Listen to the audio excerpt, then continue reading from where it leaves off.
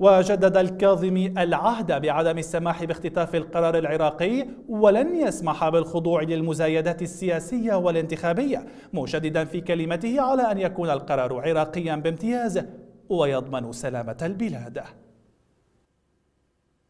نجدد اليوم عهدنا إلى الشعب العراقي بأننا لن نسمح باختطاف القرار الوطني العراقي من أي جهة كانت. ولن نخضع للمزايدات السياسية والانتخابية.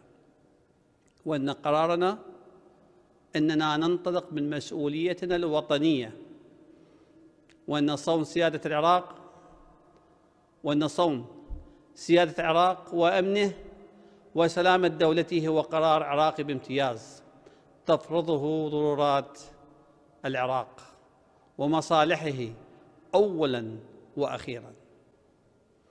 العراق لن يكون ملعبا للصراعات الإقليمية أو الدولية بعد اليوم.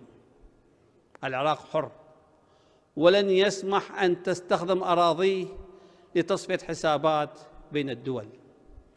نقول جيش العراق على أهبة الاستعداد للقيام بواجبه لوضع كل هذه الاستحقاقات حيز تطبيق. علينا واجب إيصال العراق وشعب العراق إلى بر الأمان وسوف نعمل مهما ظن الواهمون. إن بامكان الصراخ ترهيب من تجذر حب الوطن في قلوبهم.